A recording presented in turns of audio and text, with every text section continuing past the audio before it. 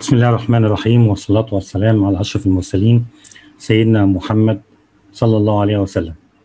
آه كل عام وحضراتكم طيبين وبخير. بمناسبة عيد الفطر المبارك عاده الله عليكم باليمن والخيرات والبركات. تلاحظوا طلابي الأعزاء طلاب آه بكالوريوس قسم الهندسة الميكانيكية آه إن في تيم ظهر عندكم جميعا. على حسب كل واحد على حسب آه شعبته أو تخصصه خاص بمشروع آه السنة الأخيرة أو مشروع التخرج. ففي هتلاقي في team خاص بشعبة الهندسة الصناعية team خاص بشعبة ميكاترونيك team خاص بشعبة إنتاج. طبعا مش كل واحد ليه القدرة على الدخول على كل ال teams. على حسب انتسابك لأنت أي شعبة. لو أنت شعبة إنتاج هتقدر تخش على أو تشوف فقط ال team الخاص ب production فأنا لو دخلت مثلا على ال team الخاص ب وده اللي هشرح عليه وبشرح طبعا للساده اساتذتي وزملائي الأعزاء أعضاء التدريس وطلاب الأعزاء وإزاي يستخدموا آه هذا ال team الجديد في التواصل مع طلابهم في المشروع. وكمان التواصل مع لجنة المشاريع. فبنخش على ال team الخاص بال industrial. engineering branch هنجد إن في عندنا 6 channels ولكل channel بيبقى خاص ب group معين من المشاريع. يعني ستة دول معناهم إن إحنا عندنا ست مشاريع هندسة صناعية. المشاريع الخاصة بيا هي المشروع رقم أربعة والمشروع خمسة. وبالمناسبة ده الكود الخاص بكل مشروع. يعني كل مشروع من مشاريع الهندسة الصناعية بتبتدي بال industrial شرطة 2021 شرطة وبعد كده من واحد لستة. يعني ممكن تكون أنت مشروع رقم واحد رقم اثنين رقم ثلاثة وكل واحد عارف طبعا إيه أو هيبقى عارف هو تبع أي مشروع والكود ده مفترض إن أنت تكتبه على أي document أو أي مستند أو أي نموذج آه مطلوب إن أنت تحدد فيه أو تشوف فيه آه الرقم الشعبة بتاعتك. يعني لو تحدد مثلا ميعاد الامتحانك الامتحان بتاعك في الجدول المناقشة إن شاء الله هيكون مكتوب فيه الكود ده وبالتالي تعرف إن انت إن أنت خاص بهذا الإيه؟ المشروع. فلو دخلنا مثلا على عشان نقدر إزاي نتعامل معاه مشروع رقم أربعة. فهنجد عندنا هنا كده في الصفحة الرئيسية. وده على فكرة دي ال channels دي private private يعني إيه؟ خاصة ومقفولة على الأعضاء بتاعتها فقط. يعني مش أي حد هيشوف الكلام اللي موجود جوه ال team أربعة أو ال channel أربعة. خلاف الأعضاء أو المنتسبين للمشروع رقم أربعة وهكذا بالنسبة لخمسة أو أو أي أي أي channel فلو فيديو نزل في materials نزلت فدي آه أو في meeting حصل فده بيتم آه داخل أعضاء ال group فقط اللي المشروع نفسه. طيب لو أنا عضو هيئة تدريس وعايز أحط إعلان مثلا للطلبه بتوعي سهل جدا. أقول new conversation واكتب هنا ازود دي كده واكتب عنوان ال subject واكتب الموضوع آه وبعد كده أقول له إيه؟ أقول له send طبعا أقدر أستخدم كل الحاجات دي. يعني أنا مش بشرح آه إزاي نتعامل مع تيم لا إزاي نتعامل مع ال channels الجديدة داخل team وبعد كده بقى إيه؟ بقول له ابعت. لو أنا مش عايز أبعته خلاص اقفل. آه عايز أحط ملفات للطلاب بتوعي. فباجي هنا كده أقول له files وهنا أنا عامل مجموعة من ال folders الخاصة بالطلاب بتوعي. كل folder خاص بموضوع معين ودي الملفات اللي أنا حاططها لهم. بمجرد بس هنا باجي هنا أقول له new new folder لو عايز أعمل new document Word document Excel PowerPoint OneNote إلى آخره. لو عايز أعمل upload لملف من الملفات مثلا آآ آآ عايز أعمل upload لأي ملف أرفعه للطلاب بتوعي.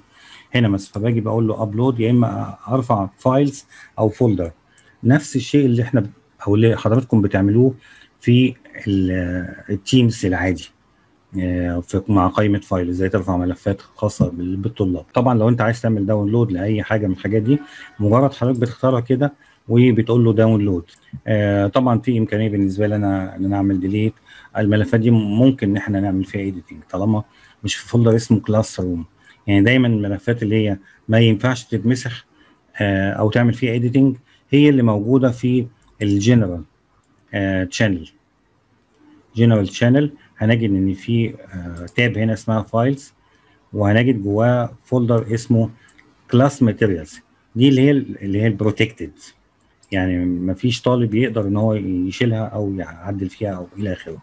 ففي ال class materials الكلام ده بالنسبة لكل طلاب الهندسة الصناعية أو بالنسبة لكل الطلاب كل واحد في ال team بتاعه. هنلاقي في ال class materials مجموعة من الملفات آه، أنا شايف إنها مهمة جدا. ملفين خاصين بازاي تعمل المشروع بتاعك والخطوات بتاعته وال format والتقرير تكتبه إزاي. كل حاجة كل حاجة عن الموضوع. وفي هنا ثلاث نماذج. النموذج الأولاني النموذج الثاني النموذج الثالث لو عايز تفتح أي نموذج أو تعمل له download فمنتهى السهولة آه، بدوس عليه كده وأقول له download أو إن أنا أفتح هنا كده هو ملف Word بيتفتح آه، قدامي. ده توصيف مشروع التخرج. ده طبعا بيتعمل في حالة آه، لو في البداية خالص ومفيش أي عايز توصف المشروع بتاعك اسم المشرف أو المشرفين من داخل القسم. آه، من خارج القسم. عنوان المشروع وصف مختصر للمشروع مواصفات أو متطلبات الطلاب الراغبين في تسجيل هذا المشروع. يعني دي دي مشاريع المفترض إن المشروع القسم هو اللي بيعرضها أو الشعب هو اللي بيعرضها على الطلاب على طلابه. آه، آه، أو على الطلاب عموما بدليل إن أنت هنا ما بتلاقيش في النموذج ده أسماء الطلاب. فأنت لو حريص إن أنت تشترك في المشروع ده آه، بت إيه بتقدم النموذج الثاني مش الأولاني. فده ده المفروض اللي هو بيعمل مين اللي بيعمله؟ مين اللي بيعبيه؟ مش أنت خالص. ده القسم أو المشرفين أو أعضاء التدريس الموجودين في القسم. okay؟ آه خلاص أنا خلصت ال ال ال file ده. آه برجع تاني أقول له هنا close نرجع تاني لل class materials ال file أو النموذج التاني هو وأنا وده اللي أنا بعته لحضراتكم هو نموذج اثنين ونموذج ثلاثة بعته ليكم كلكم يعني مش مش مش لمجموعة معينة أو مشروع معين. نموذج اثنين ده ده المطلوب من حضراتكم إن أنتوا تعبوه. أنا عارف إن أنتوا سبق عبيتوه وسلمتوه لمدام شادية في القسم مشكورين لكن مطلوب من حضراتكم تعبوه مرة تانية. اسم المشرف آه، من داخل القسم المفترض هيكون في المكان ده. اسم المشرف أو المشرفين من خارج القسم عنوان المشروع اهو عربي وانجليزي. طبعا عربي انجليزي الانجليزي الأول عربي الأول مش مشكلة. آه، أسماء الطلاب اسمك التخصص بتاعك آه، سواء صناعية أو آه، ميكاترونيك أو إنتاج رقم جلوسك مفترض إن أنت إيه توقع. آه، النسخة دي هتتقدم إيه؟ هتتقدم إلكتروني. طب هتتقدم فين؟ هتتقدم في نفس المكان اللي أنا هقول لكم عليه دلوقتي اللي هو في قائمة file. هقول لك إزاي. هعمل لك أنا folder دلوقتي. خاص بهذا النموذج إن أنت تسلمه. كل الطلاب في الشعبة دي اللي إحنا بنتكلم عنها شعبة الهندسة الصناعية بتحط الملفات بتاعتها أو النموذج رقم اثنين في آه هذا المكان اللي أنا هقول لكم عليه.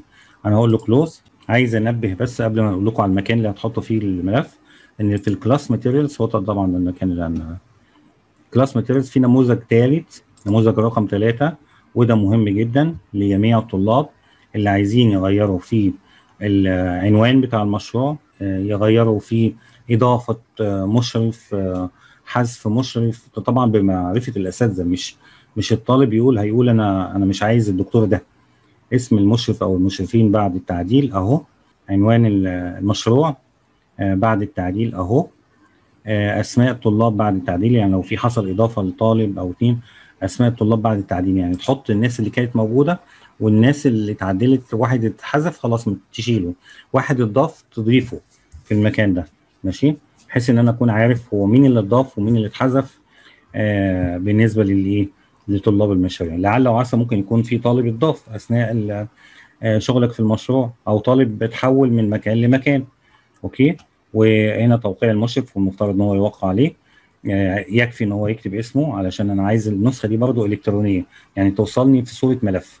okay؟ أنا هقفل هنا كده. وطبعا أنا هحط لكم برضو تكتبوا الكود بتاع المشروع. يعني هعدل في النموذج ده دلوقتي واحط لكم أقول له إيه؟ أقول لك كود المشروع. تكتب لي كود المشروع. اللي أنا سبق إن أنا نوهت عليه اللي هو آه نفسه آه ال title أو الاسم بتاع ال channel الخاصة بالمشروع بتاعك. يعني أنا ممكن أجي هنا كده وأقول لك أقول لك هنا إيه؟ ال project code. حضرتك بالنسبة للهندسة الصناعية هتكتب industrial